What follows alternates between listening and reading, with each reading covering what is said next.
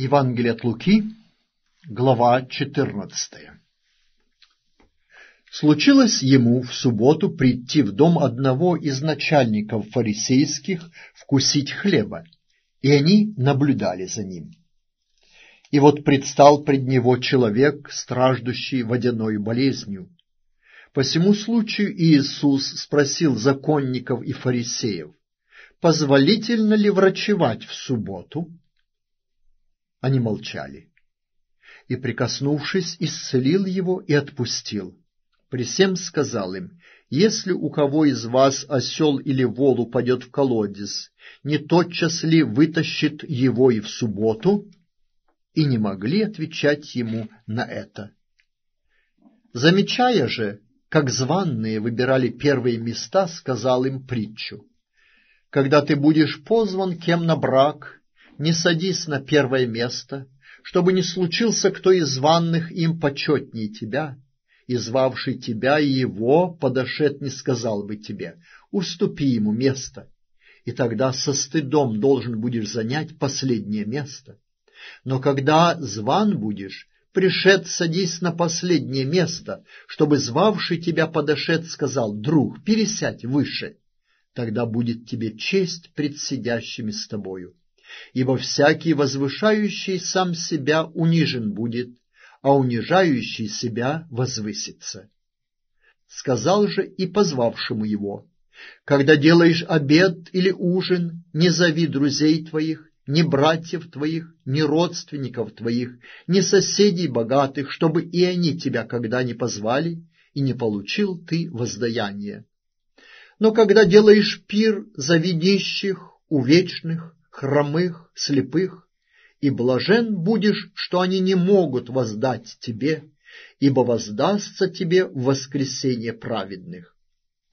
Услышав это, некто из возлежащих с ним сказал ему, «Блажен, кто вкусит хлеба в Царстве Божием!» Он же сказал ему, «Один человек сделал большой ужин и звал многих. И когда наступило время ужина, послал раба своего сказать званным, «Идите, ибо уже все готово». И начали все, как бы сговорившись, извиняться. Первый сказал ему, «Я купил землю, и мне нужно пойти посмотреть ее. Прошу тебя, извини меня». Другой сказал, «Я купил пять пар валов и иду испытать их. Прошу тебя, извини меня». Третий сказал, «Я женился, и потому не могу прийти» и, возвратившись, раб тот донес о сем господину своему. Тогда, разгневавшись, хозяин дома сказал рабу своему, «Пойди скорее по улицам и переулкам города и приведи сюда нищих, увечных, хромых и слепых». И сказал раб, «Господин, исполнено, как приказал ты, и еще есть место». Господин сказал рабу, «Пойди по дорогам и изгородям и убеди прийти, чтобы наполнился дом мой. Ибо сказываю вам, что никто из тех званных не вкусит моего ужина, ибо много званных, но мало избранных». С ним шло множество народа, и он, обратившись, сказал им, «Если кто приходит ко мне и не возненавидит отца своего и матери, и жены, и детей, и братьев, и сестер, а притом и самой жизни своей, тот не может быть моим учеником. И кто не несет креста своего и идет за мною, не может быть моим учеником. Ибо кто из вас, желая построить башню, не сядет прежде и не вычислит издержек, имеет ли он что нужно для совершения ее, дабы, когда положит основание и невозможно совершить, все видящие не стали смеяться над ним, говоря, этот человек начал строить и не мог окончить. Или какой царь, идя на войну против другого царя, не сядет и не посоветуется прежде, силен ли он с десятью тысячами противостать идущему на него с двадцатью тысячами, Иначе, пока тот еще далеко, он пошлет к нему посольство просить о мире.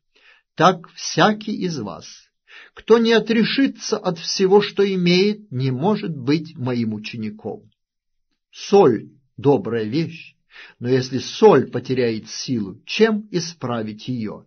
Ни в землю, ни в навоз не годится, вон выбрасывают ее. Кто имеет уши слышать, да слышит. Глава пятнадцатая Приближались к нему все мытари и грешники слушать его. Фарисеи же и книжники роптали, говоря, «Он принимает грешников и ест с ними». Но он сказал им следующую притчу. «Кто из вас, имея сто овец, и, потеряв одну из них, не оставит девяносто девяти в пустыне и не пойдет за пропавшую, пока не найдет ее?» а нашед возьмет ее на плечи свои с радостью, и пришед домой созовет друзей и соседей и скажет им, «Порадуйтесь со мною, я нашел мою пропавшую овцу». Сказываю вам, что так на небесах более радости будет об одном грешнике кающемся, нежели о девяносто девяти праведниках, не имеющих нужды в покаянии.